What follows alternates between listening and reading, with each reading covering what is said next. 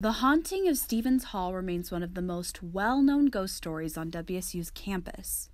But many don't know the story behind a senseless act of violence that took away the precious life of a woman named Joyce LePage. If you asked any of the LePage siblings about their childhood, they would tell you their upbringing resembled a picture perfect life. They spent most of their days working together on their family's farm in Pasco. They were close, but not just because they had no one else to play with but because they liked it that way. It was a very wonderful time growing up. Uh, we, we had chores to do each day um, before and after school, and uh, but otherwise we had plenty of free time also. Because their parents relied on them to help out on the farm, they rarely took part in after school activities, but they still made time for fun.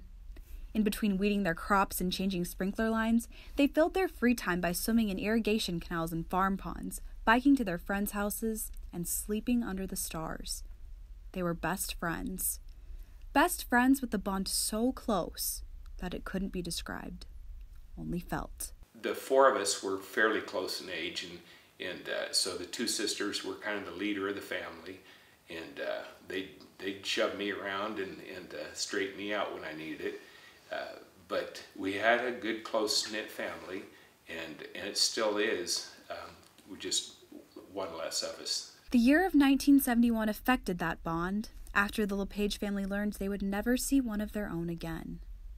Joyce, a 21 year old student at WSU, stayed in Pullman the summer before her senior year to take classes and move closer to earning her degree.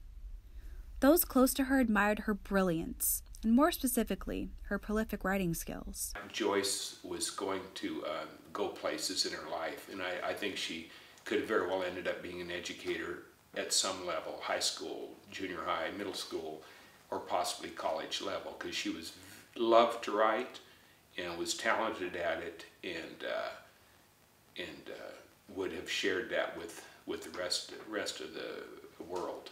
Outside of the classroom, she had an adventurous side.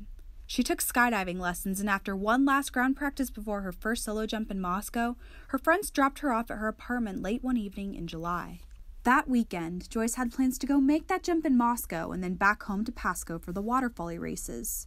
But she never showed up to either one, and her family instantly knew in their hearts that something was wrong. Very unlike her to not go ahead and, and uh, go to Moscow, do that jump, and uh, and then come on back for the Water Follies, which her intention was. So she just disappeared, you know, from communication, and that was that was very uh, odd.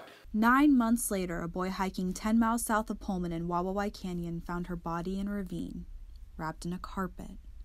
Authorities learned the carpet came from Stevens Hall after workers reported one missing the day after people last saw Joyce. She also, from time to time, likes to sneak into Stevens Hall uh, and spend the night there. There's a piano in there, and she just likes kind of her own private time. After linking the piece of missing carpet to her death, police determined someone most likely murdered her in Stevens Hall.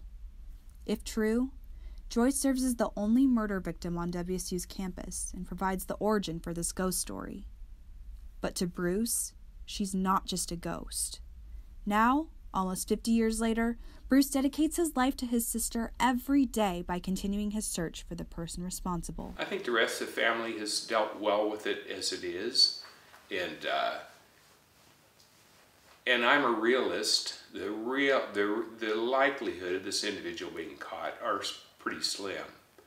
But slim doesn't stop me from looking. Bruce wants so badly to finish the story that he's offering a reward for $100,000. $60,000 for an arrest and an additional $40,000 for a conviction. If that would bring out someone that has information on this individual, um, if he's still alive, uh, that did the murder, money well spent. The lack of evidence, specifically DNA, as well as the passage of time, makes solving this case challenging for any investigator. Well, I think one of the big things that stands out about this case is the fact that it's over 40 years ago now. If you go back that far in time, uh, we don't have nearly the technologies that we have today. Uh, it's very easy um, to go missing back then. It's easy to go missing today, but it's very easy to go missing back then, essentially without a trace I guess what I would say to this individual is that if, if uh, you're still alive and you're out there, um, I and the sheriff are gunning for you. The story that Bruce will tell won't be that of a ghost, but will be about the sister he describes as vivacious, outgoing, friendly, talented, and fun loving. Just like, uh,